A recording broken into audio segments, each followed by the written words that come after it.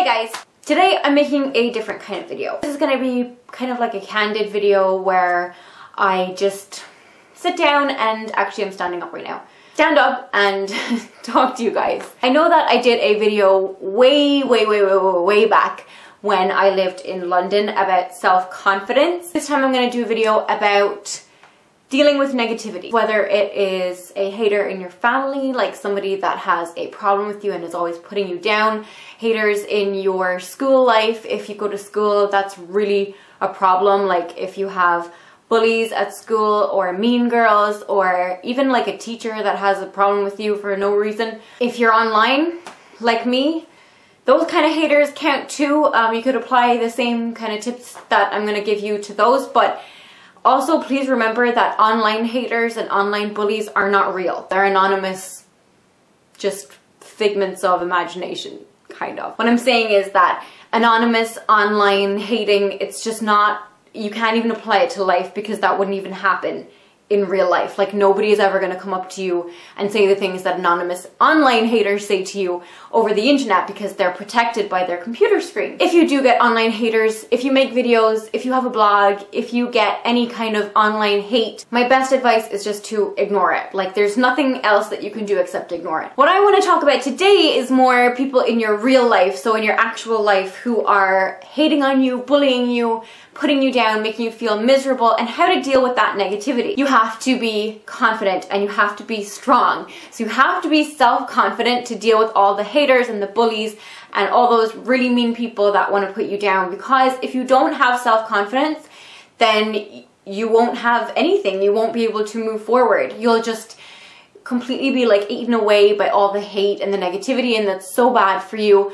So you need to have confidence. How do you get confidence? Usually why teenagers struggle so much with self-confidence and self-esteem issues is because they're so young and everything's changing, like their bodies are changing, their minds are changing, their ideas are changing, their personal environments maybe have changed or like their personal lives have changed. So they're dealing with a lot of change and change is scary and that can make you, it can knock your confidence or it can make you a little bit more self-conscious than you maybe were when you were a child. It doesn't matter what you wear, it doesn't matter if you are wearing things that suit your body shape or not, if you're in colors that suit you or not. If you're confident, it's just I can't even explain it, but you're gonna look good. Believe me when I say this, a confident girl is so much more beautiful than a beautiful, like, not confident girl. Girl who just doesn't know that she's beautiful is not gonna appear as beautiful as the girl who maybe isn't as good looking as the other girl, but knows that she's good looking. Do you know what I mean? Just have faith in yourself and just be sure of yourself. Don't be afraid to do what you want to do in life because it's your life. It's no one else's life but yours. And you know, if you have parent or brother, sister, peer, like friend, I don't know, teacher who's putting you down, just remember that it's it's your decision to live your life the way you want to live it. And you don't need to take any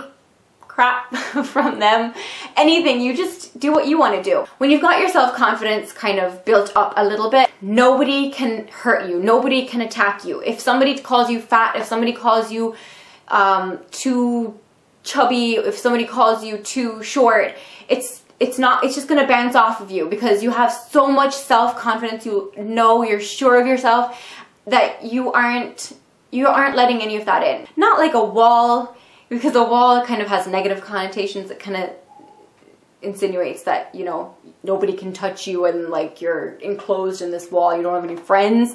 But that's not what i mean. I, I just mean that you have this kind of out outer exterior. So you have like a shell of confidence and nobody can get through it. You know, I get comments all the time telling me that I'm fat, chubby, that my um, lips are like effed up and that I've had injections, that I've had Botox, that I've had a nose job and it's completely ruined my face. I get comments about my eyebrows, that they're completely out of control, that I need to pluck them more, that I don't need to pluck them anymore, that I've overplucked them crazy stuff like that. Um, I get comments about my hair, that my roots are really bad, that the color's wrong, just idiotic stuff like that. And I don't take any notice of it because number one, I love my hair. Number two, I love my eyebrows. Number three, I love the way my body is. I don't want to be any thinner. I don't want to be any bigger. I want to be the way I am right now. So I'm happy with the way I look. I'm happy with my life right now. And I know it's difficult because you are trying not to take on what people say and words and, you know, things that, negative things that people say do hurt.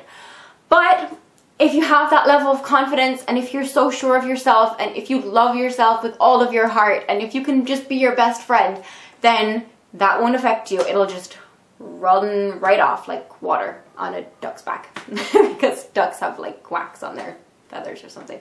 So yeah, thank you so much for watching. Check out my blog. Um, I'll probably do a little write-up thingy on this and um, also my daily vlog channel because I will be uploading videos there every single day. And thank you so much for subscribing, all of you that have already. I really, really, really appreciate it. I appreciate all of you. And um, I just want to say thank you. Bye!